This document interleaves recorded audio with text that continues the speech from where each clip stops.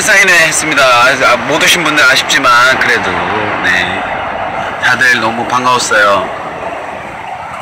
음 저는 지금 음 이제 오늘 스케줄을 이제야 거의 다 완료가 돼가고 있습니다.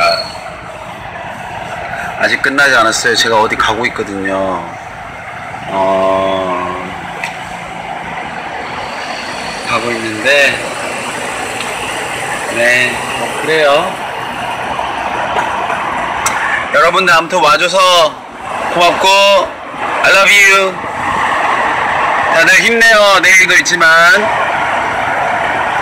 내일부터, 월요일부터 또 힘내시길 바랍니다.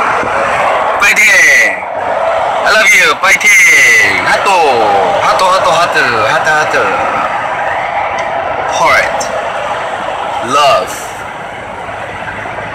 Mr. Nola give you some love. bye bye.